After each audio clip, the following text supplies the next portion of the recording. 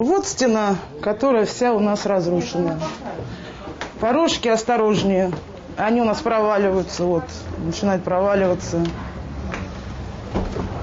Дальше вот на днях вывалилась вот кусок стены, трещина образовалась, которая выходит на улицу над первым подъездом. Потолок, как видите, нависает.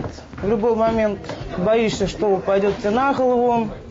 По-хорошему здесь и находиться нельзя. Экспертная комиссия в этом году признала дом аварийным. Значит, жить здесь опасно и неудобно. Рядом проходят трамвайные пути.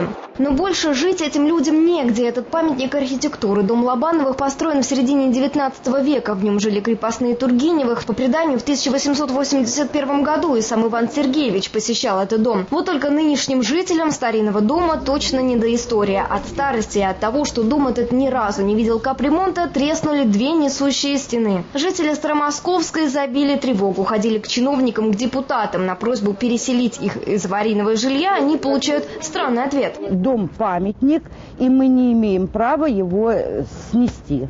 А переселить мы вас тоже не можем, потому что мы не можем вас поставить в программу на основании того, что дом считается памятником, не можем поставить вас в программу о переселении э, ветхих э, домов.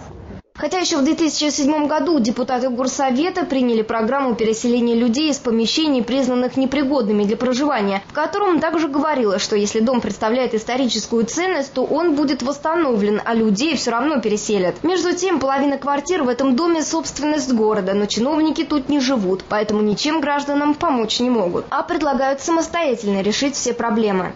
А жилой дом по улице Старомосковская, 55, был признан аварийным в конце этого лета, точнее 31 августа. В этом доме не все квартиры принадлежат муниципалитету, часть из них принадлежит другим собственникам.